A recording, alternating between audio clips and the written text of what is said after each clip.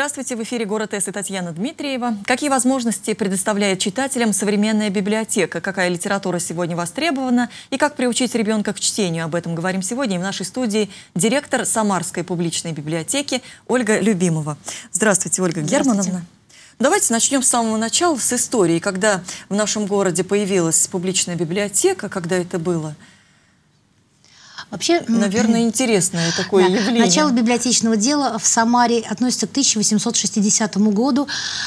И э, долгие годы библиотека не имела постоянного э, своего помещения и арендовала разные э, и была в особняках, и при гимназиях, и при, при редакции газет. В 1882 году библиотека арендовала помещение у купца Христензена. Вообще здание нашей публичной библиотеки – это э, объект культурного наследия, памятник истории, архитектуры федерального значения. А где она располагается, чтобы мы уже улица, представляли Улица визуально? Куйбышева, дом 95, угу. в самом, так сказать, центре да. Старой Самары. У нас а, трехэтажное кирпичное здание, после ремонта и реставрации. Дом построен а, во второй половине XIX века а, купцом Саниным. Впоследствии его приобрел а, Юлий Богданович Христензен, датчанин происхождению, выходец из немецких колоний под Царицыным.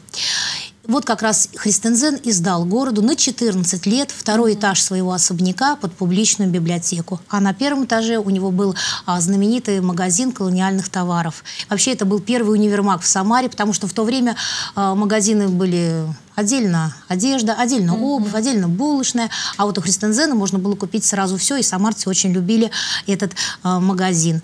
Ну вот. А с 82 по 96 год Самарская публичная библиотека была расположена на втором этаже. И музей Александра II. Mm-hmm.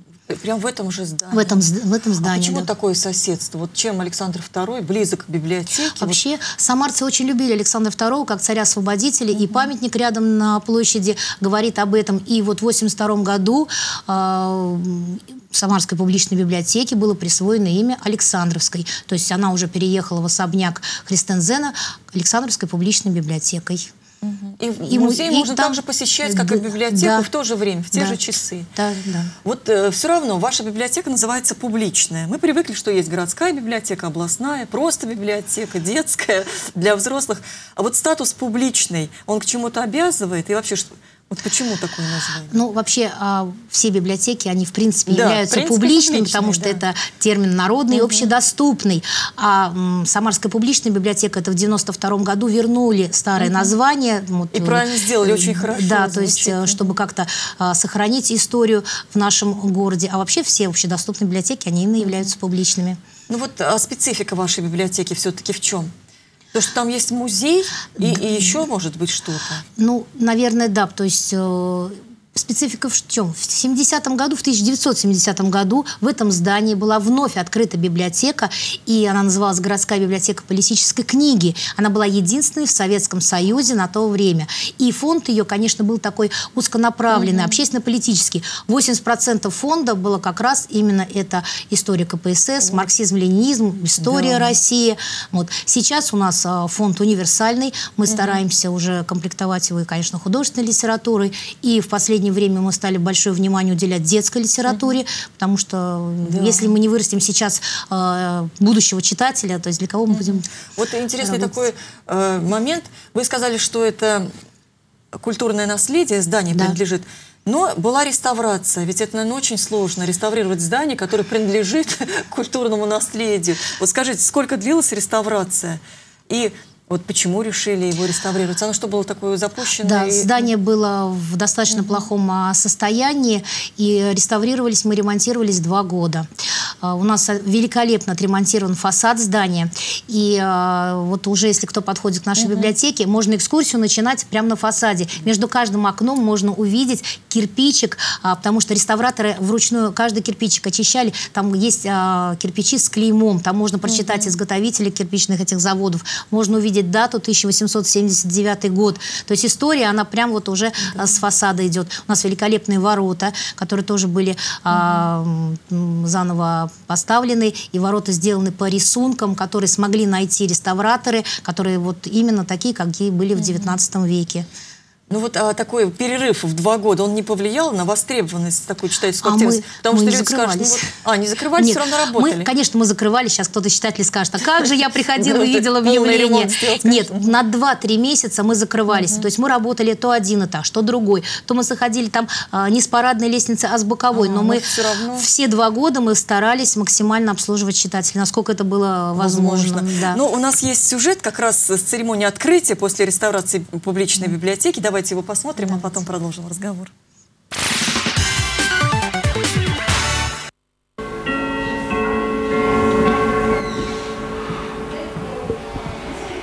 Время здесь, кажется, течет по-особенному, попадая в публичную библиотеку, как будто окунаешься в 19 век. Однако при этом музейные пространства здесь соседствуют с современными технологиями.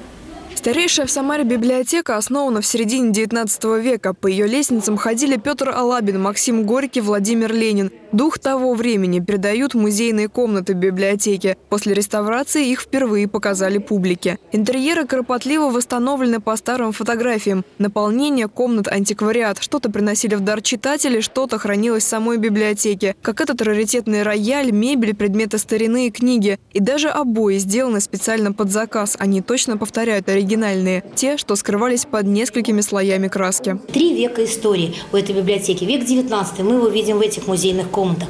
Век 20 это наш третий этаж, там тоже замечательная музейная комната, интерьеры. И сейчас то, что мы проводим массовые мероприятия, конференции, презентации, э, наши читатели, это наш век 21. Над зданием трудилась целая команда архитекторов, реставраторов и дизайнеров. Оконные конструкции восстановили по чертежам того времени, привели в исторический вид и фасад здания, реставрировали и знаменитый световой фонарь. Установили зеркала, которые отражают свет и расширяют пространство. За время работ сделано немало находок. Так, под слоем штукатурки на кирпичах обнаружился штамп 1879 года. А когда краску стали снимать внутри, то неожиданно узнали, что подоконник под ней из настоящего мрамора. Прекрасно восстановленный фасад, восстановленное здание, один из лучших образцов реставрации за последние годы в городе Самаре. Это признают, в общем, все. И градозащитное сообщество, наши архитекторы. Это тот случай, когда а, не только э, здание восстановлено, но и в нем восстановлена жизнь.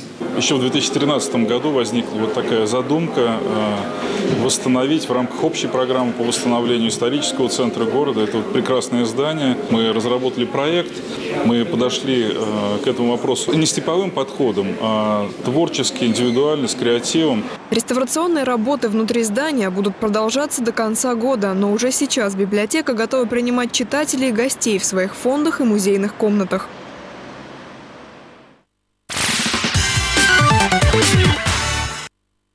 Несмотря на то, что такое историческое прошлое, большая библиотека все-таки современная. Вот да, современная библиотека, какие услуги она сегодня предлагает читателям? Что-то новое появляется, модернизируется, или это совсем не обязательно, потому ну, что все-таки библиотека это такое классическое, традиционное и так далее. Нет, ну, конечно, традиционные услуги мы представляем, как все библиотеки города. Это и э, библиотечное обслуживание, то есть это книги на дом, это услуги читального зала, э, компьютеры, выход в интернет у нас абсолютно все бесплатно. Пожалуйста, можно прийти, можно поработать. Mm-hmm. Ну, дополнительные в виде э, ксерокопирования, ламинирования, переплет дипломов, это вот такие сопутствующие услуги нашего э, читального зала а на я третьем слышала, дистанционно еще есть обслуживание? Или вы да, еще к нему не подошли? Нет, почему? Мы предлагаем нашим читателям, то есть а, особенно маломобильным гражданам, мы можем а, осуществлять, угу. и мы осуществляем, это раньше называлось книгоношество. Был такой термин в библиотечном деле в советское время, когда а, книги приносились читателю и обменивались а, вот на дому. Мы можем справки оказывать по телефону, по электронной угу. почте, общаться на сайтах. Наш, у нас есть свой блог, то есть э, все, пожалуйста. Да. Ну, вообще, конечно, у библиотеки самый важный аспект – это социальный, воспитательный, образовательный даже. И такая как сказать, не бюджетная, не коммерческая структура. Вот как ну, вы с этим справляетесь, пополняете фонды, потому что понятно, что хочется все больше, лучше, разнообразнее, разностороннее и так далее. Но учитывая, что мы два года были в ремонте, в реставрации, да. и сейчас мы имеем очень красивое, такое, я сказала, достойное помещение угу. библиотеки, а, и я думаю, что у нас все наши проекты, планы, которые мы сейчас разрабатываем, должны осуществиться. А, мы можем предложить городу много интересных проектов, прежде всего связанных, конечно, с развитием наших музейных комнат. Угу. Это музейная комната 19 века и наша так, ну, ленинская комната или библиотека политической книги. У нас разные экскурсионные маршруты. Это могут быть и семья Ульяновых в Самаре. Кстати, это сейчас очень интересно. Да, Ничего да, себе. сейчас все это вызывает... это связано, интересно? Вы знаете, а когда вот посетители сначала посещают 19 век на втором этаже нашего музея, потом поднимаются на третий этаж, оказывается как бы в веке 20 они говорят, что на втором этаже очень интересно, потому что вот эти предметы быта, музыкальные инструменты, это все действительно здорово. А вот на третьем этаже, в советской, так сказать, комнате, ностальгия настолько их охватывает, и людям очень приятно, потому что кто-то вспоминает, ой, у меня вот когда-то у бабушки это было, вот эта книга у меня там у дедушки в шкафу стояла, а вот у нас же там есть и патефон тоже, мы с советских времен, и пластинки. А, мы хотим предложить эм, детям просмотр диафильмов. У нас есть в хорошем Да. состоянии диапроекторы, причем у нас есть учебные фильмы, есть как это сказки, там развлекательные. Я думаю, а, школьникам будет очень интересно посмотреть, Как как, раньше, проводили да. досуг их там бабушки, Да, да, дедушки, да. когда собирались там соседи, двор весь садились э, и устраивали Да, диафильм, Потому что смотрели. действительно, вот вы говорите, какие разные эпохи. Советское время, тут и революционное, и, Ну, и вот- дореволюционное. да. Экскурсионные маршруты связаны вот а, с бытом горожан XIX века. А, Аксаковы в Самарском крае мы предлагаем такие литературные экскурсии. Я думаю, что школьникам, студентам будет интересно и гостям города. Да. Да, у нас есть несколько фотографий, кстати, которые вот вы нам любезно предоставили. Давайте их сейчас посмотрим и прокомментируем. Да, это вестибюль нашей библиотеки, первый этаж, вот так он сейчас выглядит. Причем, вы знаете, вот плитка а, на полу, вот здесь, на этой фотографии она новая, а вообще мы пытались сохранить 19 век. Это наша такая немножечко веселая инсталляция, связанная с Максимом Горький, который посетил библиотеку, потом написал фильетон по поводу этого посещения. Вот так выглядит а, вот вход в библиотеку с э, информацией о наших услугах. Коридор второго этажа, э, на стендах история библиотеки. Современная инсталляция а, лестничного пролета до третьего этажа. Да, это оформление музея, грот, Алабин, потому что именно Петр Алабин в этом здании занимался библиотекой. Это вот наш как раз а, музей, экспонаты, которым очень нравятся посетителям. Мы ничего не убрали под стекло. Обратите внимание, наши экспонаты Да. мы до сих пор осторожно даже разрешаем, ну, особо маленьким нашим гостям. А, Им очень нравится потрогать и посмотреть.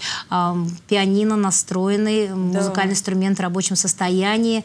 А, Тоже, если человек... Стулья даже какие. Стулья, с да. тех времен? Да, да. У нас есть и мягкая мебель, и вот эти такие традиционные венские. а, Это фотография одной из самых а, старых книг 1809 15, но да. есть у нас и 1776 даже издание. Как раз фамилии тех людей, которые были в этом здании. Вот так выглядит наш сейчас, а, скажем, вход в библиотеку. У нас вывеска на фасаде, Да, и да, маленькая, и большая. Теперь город знает, а то многие просто и не знали, эм, что мы там находимся. Да, вот еще раз для тех, кто решит Да. э, прийти, чтобы не пропустить вход. Да, вот такое вот, так. э, инте- интересное, красивое получилось. Это наш любимый, знаменитый, вот а, такие облака можно наблюдать в светлое время, э, вечером О, красота. крайне тоже красиво, Да. звезды, И раньше это тоже так было сделано? Он так? по-другому выглядел, По-другому, да. Это наш читальный зал, второй этаж, где мероприятия мы предлагаем. И тут же у нас стоит книжный фонд, который спокойно читатель может зайти, взять книжечки. Э, стеллажи нетрадиционно оформлены, то есть они специально сделаны под заказ. Чудесная вот комната для Это сцена, да. встреч, Вот такая да. диванная комната у нас, она без двери, такая открытое пространство. Очень полюбили ее посетители, просто присесть. Много у нас розеток, можно подключить все свои устройства электронные. Да, вот так оформлен а, второй этаж. То есть это 19 век, вот мы старались. А, Ленинская комната, как раз а, старинные такие 50-х годов шкафы, мы их реставрировали. Патефон Рабо- вот ваш, да? рабочий патефон, да, мы его всегда включаем. Мы его используем на мероприятиях. Да. Действительно, прям попадаешь в старинное такое здание, и книги, и шкафы. И... Очень удачный интерьер подбирался. Да. Вот так оформлены э, это стены. уже что-то такое, стиль модерн какой-то То есть получается. батареи пытались вот так очень А, красиво оформить. Это э, книги у нас есть с печатью именно Ну, вот, вот еще раз а, вот этот да, на- взгляд на небо. он Очень привлекает внимание всегда посетителей. Да. Ну вот вообще традиционно библиотека, она объединяла э, горожан, любителей и книг, и поэзии и так далее. Скажите, вот у вас местное сообщество как-то концентрируется? Вы можете предложить там поэтам нашим самарским писать, провести встречу? с читателями конечно, и так далее. Конечно, мы очень надеемся. Вообще уже многие заинтересовались, и даже э, театры города Самары э, согласны с нами проводить совместные мероприятия, и литературное объединение. Мы хотели бы, вообще я мечтала в свое время э, театр книги открыть на базе библиотеки. Как То есть, э, интересно. Мне театр как... книги. Театр... А как это можно совместить? Вот а, интересно, театр книги. Знаете, Есть театр песни, да, да вот как-то вот эта задумка. А вот театр книги, что это? Вот э, дети, они изначально все артисты. А многие взрослые, ну, может быть, они не хотят в этом признаться, но очень многие хотели когда-то выступать на сцене. Да. Что-то не заладилось, не получилось, но мечта осталась.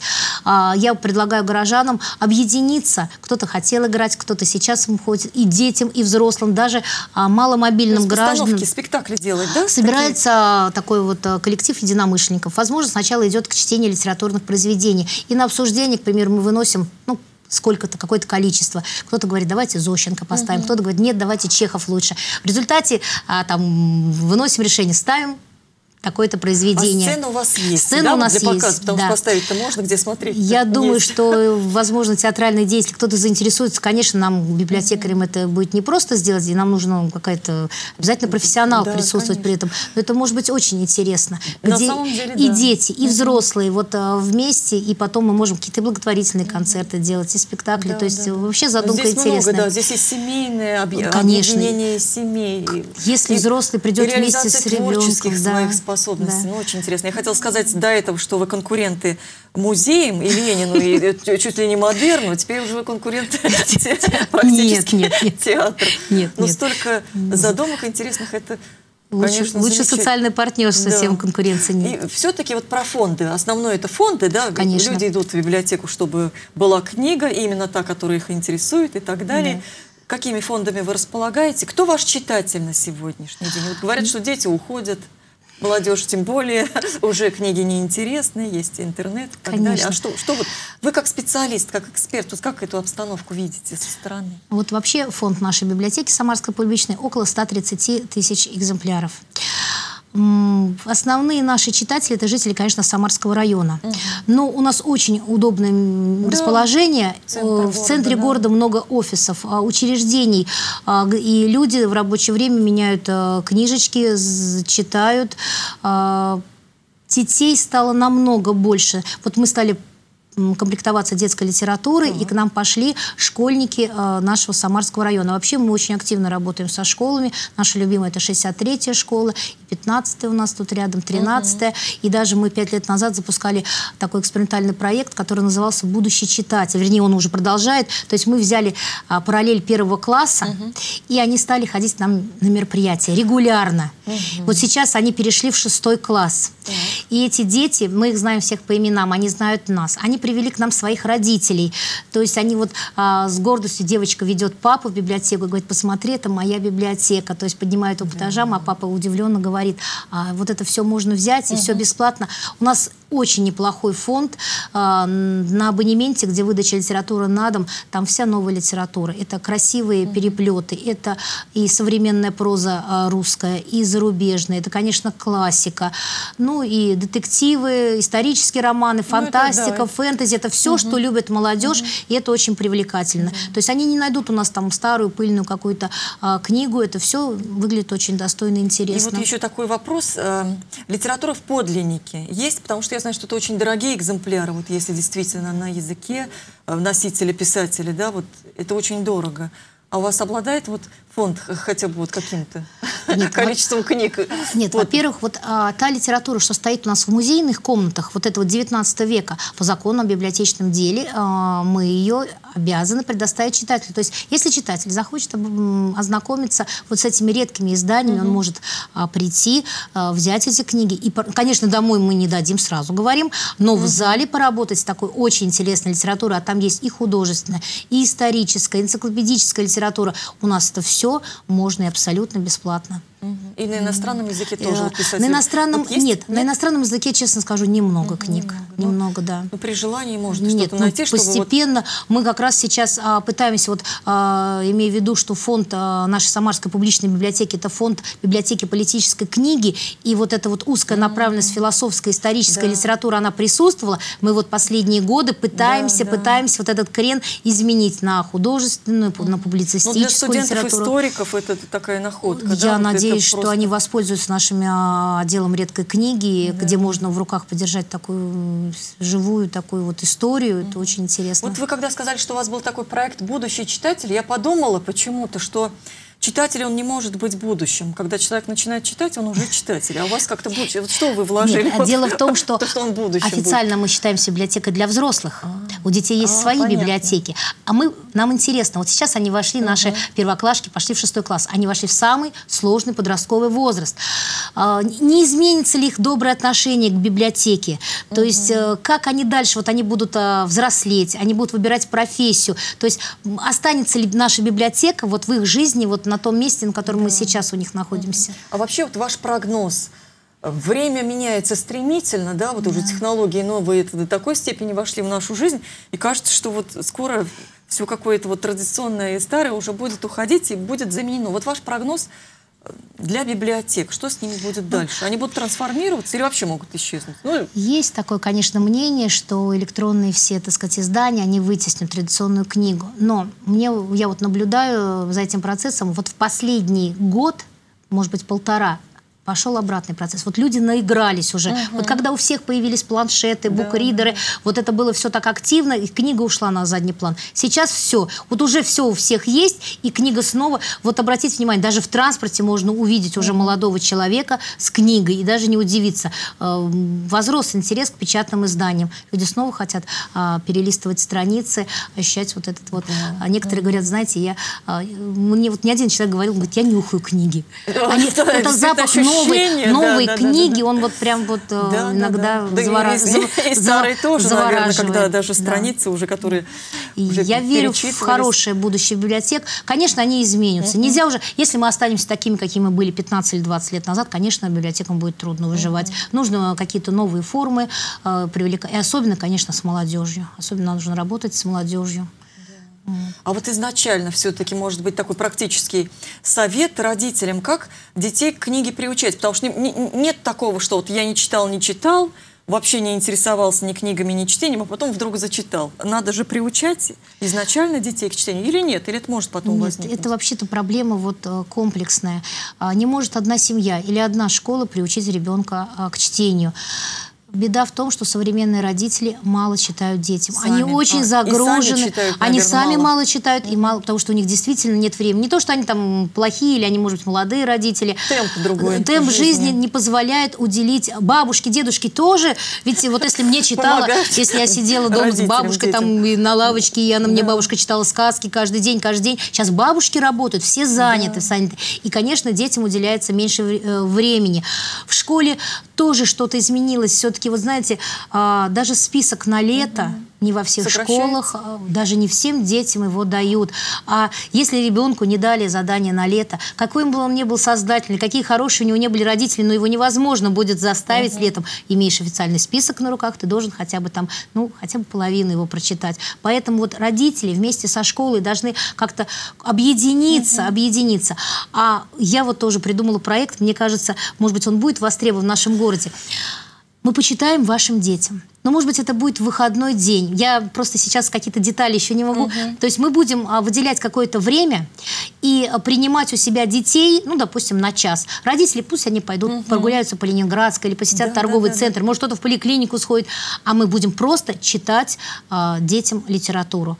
Да, Ну ну, вот. слушайте, вы креативный директор. Может быть, а, даже интересных. можно будет каких-то известных людей нашего города привлечь к этому проекту. Одно дело, да, и- вот и- кто-то хочет, захочет присоединиться к этому проекту. Мне кажется, это будет интересно. На самом деле, Да. да.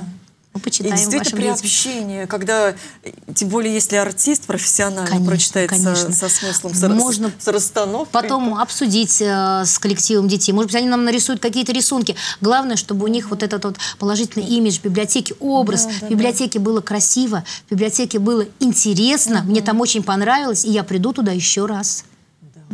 Очень интересно. Скажите, какая литература сегодня востребована? Вы тоже, как эксперт, можете судить, да? Вот что популярно? И тоже какой-то же можно анализ сделать. Вот нынешнее поколение что волнует? Ну, средних ну, лет, молодежь, ну, молодежь, конечно, считает фантастику и фэнтези. Это угу. такое их направление. А средний возраст, ну, мужчины любят, конечно, мемуарную литературу, исторический роман, это традиционно детективы, может быть, такие с уклоном в триллеры. Дамы, конечно, любят дамские романы, да. тоже дамские детективы. Сейчас ведь на, на любой вкус, да кто-то, ну, Маринину, Донцову, ее любит, э, так сказать, да. читатель наш читают. А, современную российскую, классику, классику с большим удовольствием люди перечитывают классику. То есть, в принципе, все жанры литературы, они вас... Востребованы. Да. Где-то больше, где-то меньше. Ну, ну конечно, вот, вот а, летом, как сейчас, это легкое чтиво однозначно. Да? То есть а, люди идут на пляж. А я еще хотела спросить, от сезона вот зависит? А, конечно, конечно. В жару читаются только легкие романы, а, периодики периодика мы стараемся выписывать газеты и журналы, причем журналы такие вот именно как традиционно раньше выписывала каждая семья. Это наука жизнь, это да. Да, вот э, такие э, традиционные, там, да, и «Комсомольскую да, да, правду», да. если это газета, э, там, «Гео», «Вокруг света». Вот, э, да, литературные газеты, и журналы были, и «Крестьянка», и «Работница». «Крестьянка», вот все в советское время, Нет. на самом деле, вот было действительно как-то по направлениям, и все с удовольствием и мы сейчас и так далее. предлагаем читателям, потому что все-таки дороговато. Многим угу. сейчас э, тяжело делать большие подписки домой. Приходите в библиотеку, э, прочитали «Крестьянку», «Работницу», верните через неделю, через две, возьмите возьмите другое издание. Да. Понятно. Не могу не спросить и у вас, а, почему вы занялись такой профессией, вот вот любовь к книге, к чтению, откуда она у вас когда зародилась? И вы, же, вы же решили профессионально все Знаете, это? я, конечно, много читала в детстве, так лет с пяти я прям уже хорошо читала.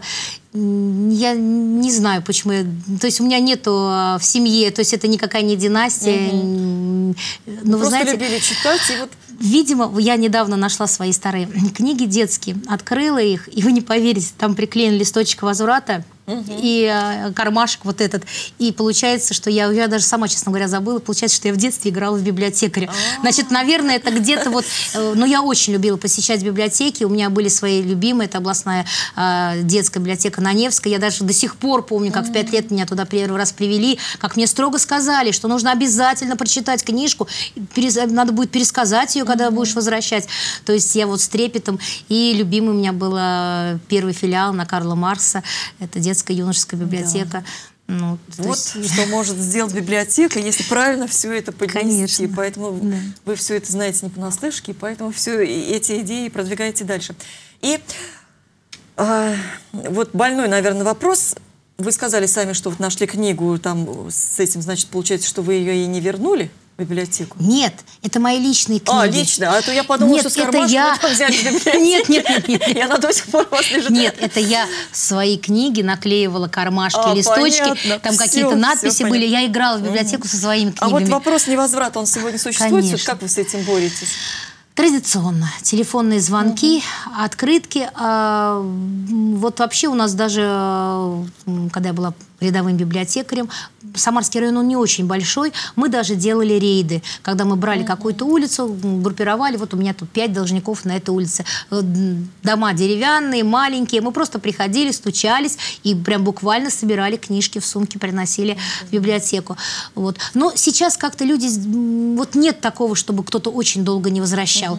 Mm-hmm. Вот 5-10 э, лет назад эта проблема была более, да, более да, острая. Да, сейчас достаточно благополучная ситуация. Да, и вот мы мы уже говорили о том, что время меняется и могут поменяться библиотеки. Скажите, а вот сама профессия библиотекаря, она может как-то трансформироваться или исчезнуть вообще? Вот тоже вот ваш прогноз такой, у нас минутка остается. Вот как вы думаете? Ну, Потому что и... это же ваше. Нет, исчез, исчезнуть не может просто по той простой причине, что не могут исчезнуть библиотеки.